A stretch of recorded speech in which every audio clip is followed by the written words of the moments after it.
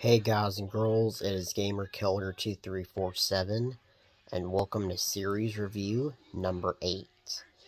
In this series review, I will be reviewing Kamp Koral.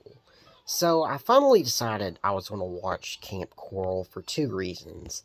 First of all, you know, there was the whole thing over Sandy being in the show and in that ruins, uh, and you know, Sandy and SpongeBob met in Tea at the Tree Dome, so that doesn't really make sense for Sandy to be in there, and they had, and they had found a way to, to kind of solve the timeline, and, um, second is because, um, I recently, uh, not too long ago, uh, whenever, um, something Narwhal This Way Comes came out, you know, I had, you know, they had all these characters from Kamp Koral in it, and I haven't even seen Kamp Koral, so it's at the point now where they're making you watch,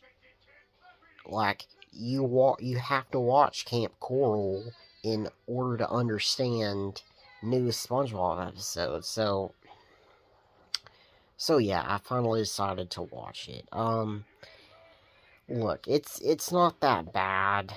You know, people are, in my opinion, a lot of people are really judging, uh, are really just viewing Kamp Koral in a negative light because of the whole, um, the whole thing over whether or not Stephen Hillenburg knew about it and uh, and supported it, and of course that he that he really didn't want spinoffs, and he didn't he didn't want to age the characters down because he like he didn't want he didn't want the SpongeBob characters to be kids, and um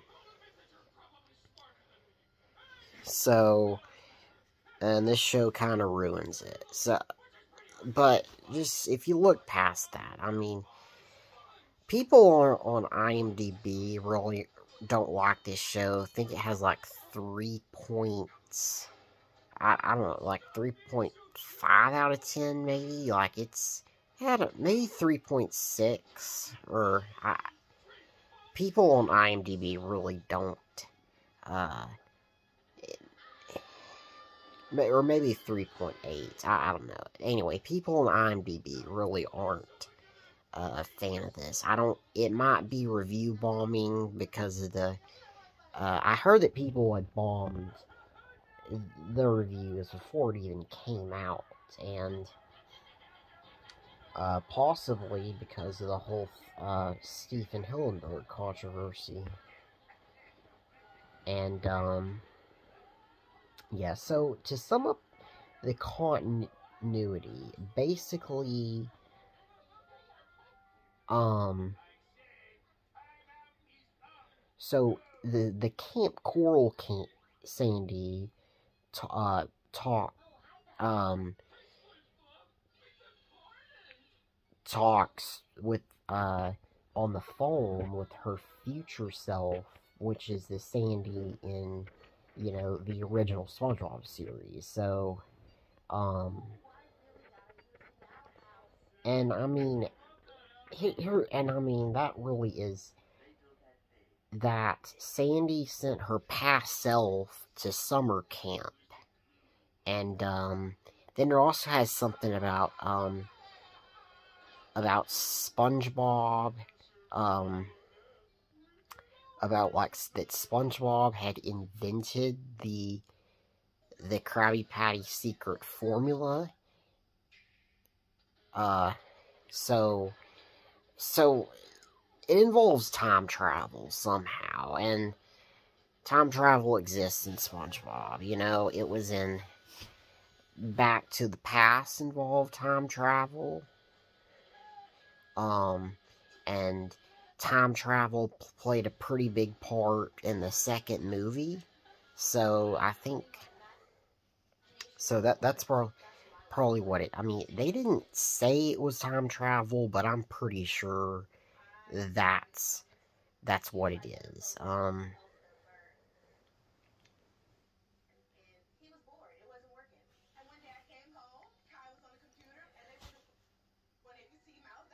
Um.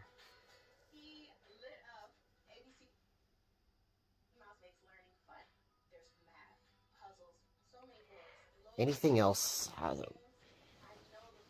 Eh, eh. So basically, I guess how you could sum it up would be that. I mean,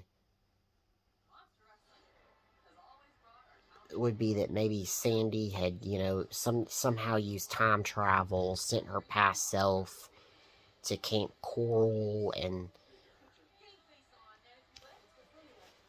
and uh, part of it, I've heard it's part of an attempt in order to, uh, to save the secret formula from from plankton.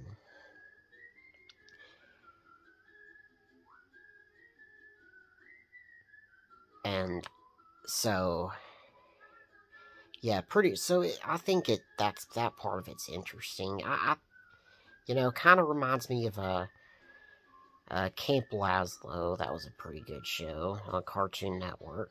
Um,